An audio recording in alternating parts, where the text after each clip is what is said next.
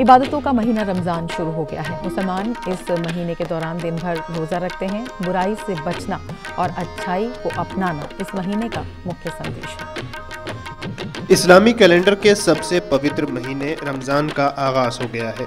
ये महीना इबादत और अपनी इच्छाओं पर नियंत्रण का महीना माना जाता है। मुसलमान इस पूरे महीने रोज़ा रखते हैं। दिन भर भूखा प्यासा रहने के साथ साथ हर तरह की बुराई से बचना रोज़े की आत्मा है। इस बार कोरोना की वजह से दुनिया के अधिकतर देशों में लॉकडाउन जारी है।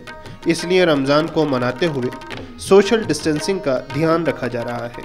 रमज़ान में तरावी की नमाज़ सामूहिक रूप से अदा की जाती है, लेकिन इस बार ओलमा ने लोगों को हिदायत दी है कि तरावी की नमाज़ घर में ही अदा करें।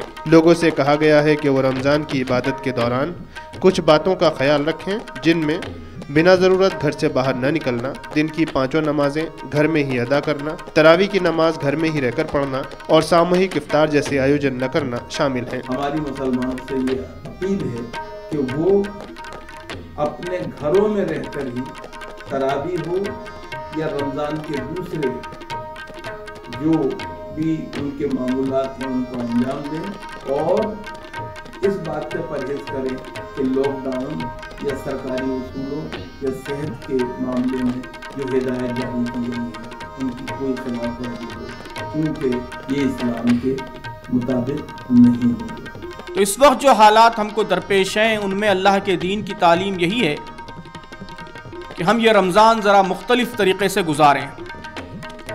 नमाजें घरों में अदा करें। लेकिन अजीज़ान ग्रामी, इस ज़रिए से भी हम अल्लाह के हुक्म ही की तामील कर रहे हैं। रमज़ान के बारे में कहा जाता है कि यह महीना लोगों की वार्षिक ट्रेनिंग की तरह है, जिसमें अमीर गरीब सबको भूख प्यास के एहसास से गुजारा जाता है। यह अनुभव उन लोगों की तकलीफ़ को समझने का एक मौका है, जिन्हें भूख प्यास का अक्सर सामना रहता है। इस तकलीफ़ का एहसास करने के बाद, ऐसे लोगों की मदद के लिए हाथ बढ़ाना और उनका दुख दर्द बांटना भी इस इबादत का एक मकसद है। रमज़ान के महीने में हर तरह की बुराई से दूर रहने और हमेशा अच्छाई करने की जो ट्रेनिंग होती है, उसे साल के बाकी दिनों में अपने जीवन में शामिल रखना रोज़े के मकसद को पूरा